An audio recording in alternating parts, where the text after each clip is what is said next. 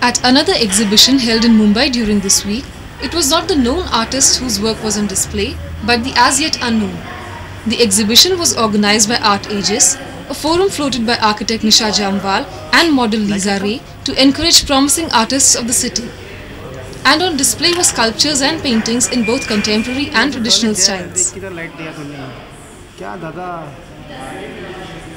From uh, some of the best well-known uh, names in Indian art to uh, very, very new and upcoming artists, you know, all under one roof. So it's been uh, sort of like offering a buffet to people, you know, for people to come in and sample all, all our, uh, our wares.